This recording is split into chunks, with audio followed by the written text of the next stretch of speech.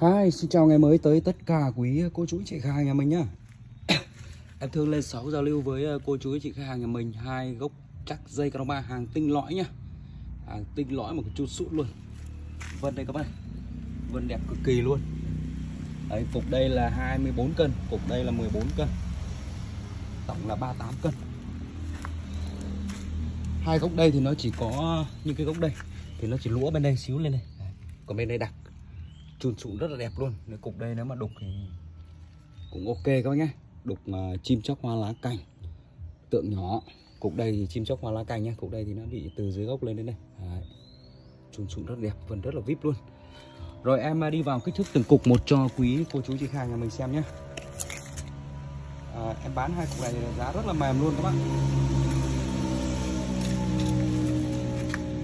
đây các bác này. Cục đây là khó quá nhỉ còn cái này đi. cục đây là cao được à, 55 này. Đấy. 55 ngang phần trên đầu được 40 40 đấy các bạn.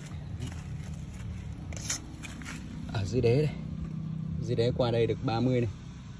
30 nói chung là giả đá hay là phay, bình nghệ thuật hay là đục, chim chóc hoa lá cành, bao đẹp vì cái này nó chun sụn đẹp lắm. Đây có nhìn. Chung là vẫn còn rất là dày để cho quý anh chị khách nhà mình lục nhá. Dạ cục số 2 cục số 2 đấy. Có chiều cao được 70 các nhá. 70 70 mà ngang phần dưới đây này các bạn này. 28 bên đây qua đây là 30 này. Đấy. dày lắm các bạn. Chiều sâu là 26 này. rất là dày để quý cô chú chị hai nhà mình đục nhé vân rất là sắc nét. Chun sụn rất nhiều, hàng này nó thường thường nó hay ép vào đá nên nó chun sụn rất là nhiều các bạn. Vân rất là đẹp luôn. Các bạn nhìn này, đẹp lắm. Nói chung là vân vip lắm. Hai cục đây thì em bán giá rất rẻ cho quý chị khách nhà mình nhé đây, cho các bác xem cái phần đế này. Đây. Đấy, nó chỉ ờ, lũa đây nhưng mà cái này mà cào giả đá này là tiểu cảnh, đẹp chim chóc hoa cảnh, bao đẹp chim sụn vần nó quá đẹp này. đấy cục số 2 đây. Đấy, các nhìn trụ trụ này con này. Đẹp mê ly luôn. Giá rất là lẻ rẻ luôn.